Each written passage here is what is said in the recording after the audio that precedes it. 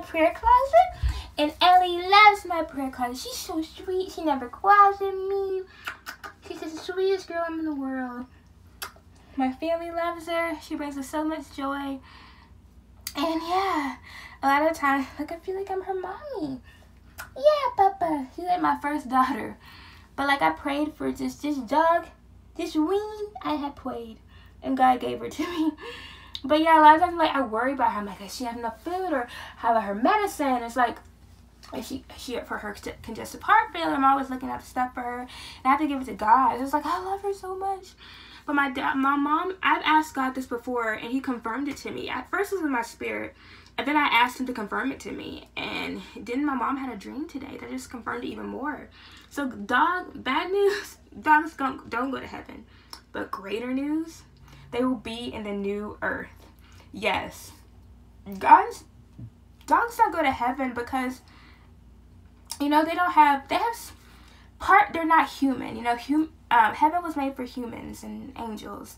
But you know even the heaven that is now it's not the it's not it's like that heaven's like a hotel kind of because until you know the armageddon the earth, the new jerusalem has to come to earth. Like we're gonna be on earth you know heaven and earth will pass away you know heaven and earth will pass away new jerusalem is coming and so when your animals die, and I have my Cali, my Chihuahua I had from 3 to 12. Like I said, I knew I could never love another dog again. Like I and, but God had my time to heal, and I got her in college. It took some time. So you may think you may never, you may go through a breakup, or you just lost a loved one, go through a divorce. You may think I'll never love again, but God will open your heart, and a lot of times it'll be better. Not saying my I love my Callie.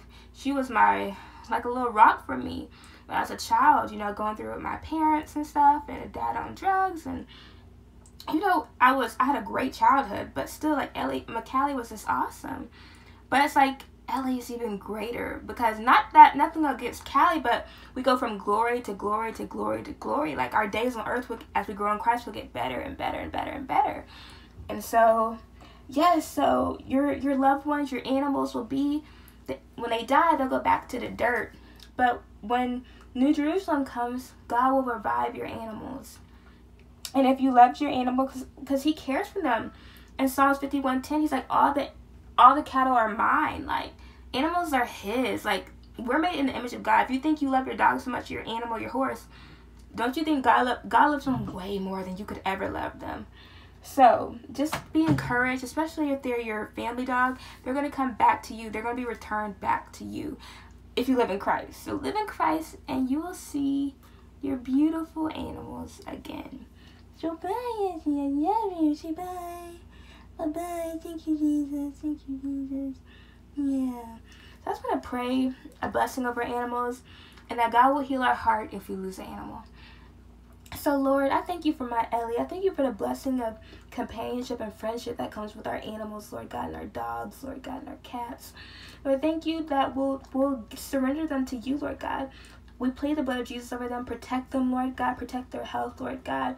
Let them have a great life. Let us connect in a deep way, Lord God. Will we be friends and they'll feel loved and have the best life with us, Lord God. Help us to adopt animals, to care for the broken animals, Lord God. And Lord, no matter what sickness comes upon them or when it's their time to go, may we be able to surrender to you. Surrender, surrender them to you no matter how hard they'll be. No, no matter how hard it'll be, knowing that you'll take care of them. Knowing that they were first yours, Lord God. We're just borrowing them.